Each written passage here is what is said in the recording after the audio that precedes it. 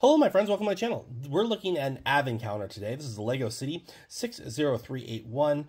This is from 2023. We are on day seven. We've done six days already. We had a little recap video yesterday um, is how we're doing it. Um, but on every 6, 6, 12, 18, 24. And then Christmas, we'll talk about the whole thing. Um, and um, we will we'll do a review and a stop motion in the video. If you do like Advent calendars, please check out my Advent calendar playlist under Advent calendars. We're on day seven here. We're gonna open it up, and it shows you on Lego. It shows you right here what you get. So we got a character today. Looks like she's an ice sculptor.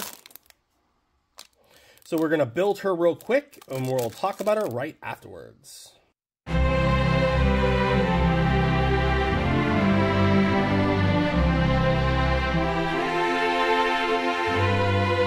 We got today was a uh, they they have a she has a saw. Um, it should be a chainsaw, not just like a blade. And uh, she has a hammer.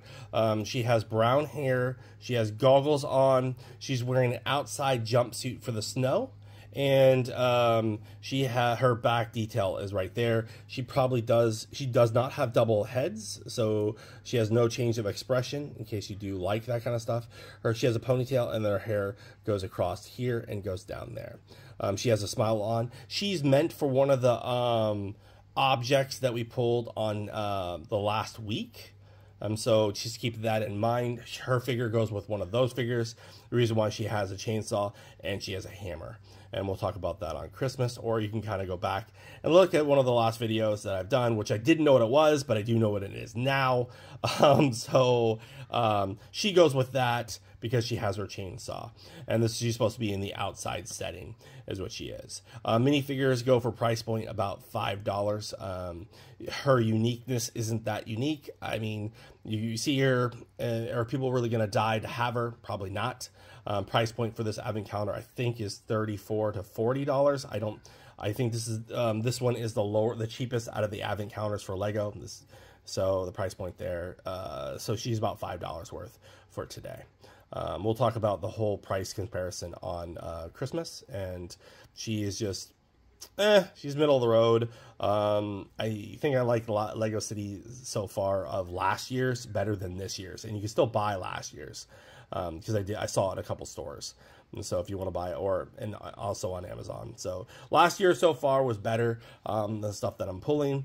Um, what are your what's your thoughts on it? Let me know in the comments below. Thanks for watching and stay collected. Hi, thanks um, thanks for watching that last video. If you liked it and you're on the fence about subscribing, hit that subscribe. It really, if you made it this far, hit that subscribe. Um, hit the like button on this video. And if you like advent calendars, I have a playlist under uh, my channel. Um, 2023 advent calendars is what we're doing this year, and 2022 advent calendars is what we did last year. So if you do like this, uh, maybe check out the video that's on the right side there um, as well. That, that one can lead you to maybe a different advent calendar or something else. Um, I want to appreciate all of you for uh, watching this and have a happy holidays.